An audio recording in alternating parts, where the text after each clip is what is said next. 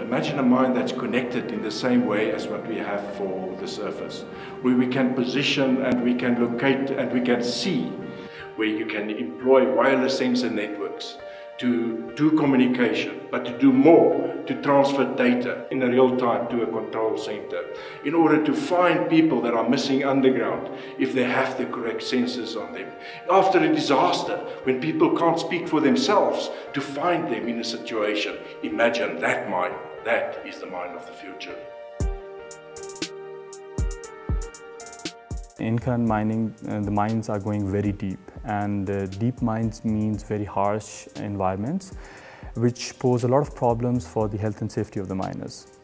And uh, one of the problems is the missing miner problem. Uh, for example, recently we saw in Lily Mine, uh, there was a collapse and uh, the rescuers were unable to track down the miners. We are in collaboration with WITS Mining Institute and this is a very important and critical issue uh, not only for the miners but also uh, for the operators of the mines. And in this regard, we are very passionate to solve this problem and uh, we believe that the new and innovative technologies uh, can help in solving this problem. My area of research is actually wireless sensor networks and to be precise, wireless underground sensor networks.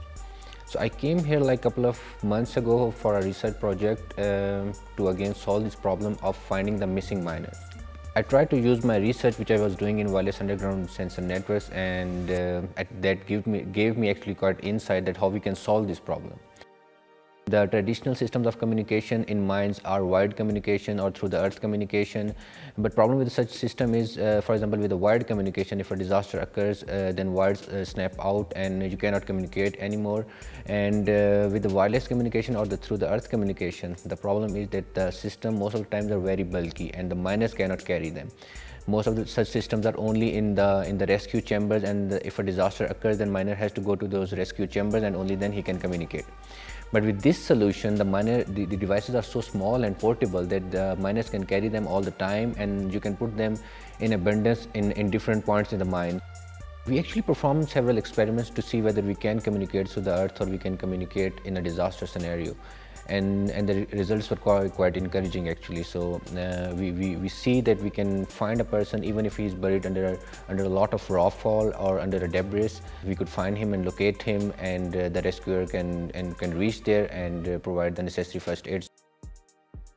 we tested out our first prototype, but I still believe that there is a lot of margin of improvement and there is a lot of research that needs to be done in this area. And uh, But I am quite optimistic that uh, from our initial results, uh, uh there is a lot of potential uh, in this technology that it can be used in the mine as the main source of communication in, in, in normal scenario and also in a disaster scenario.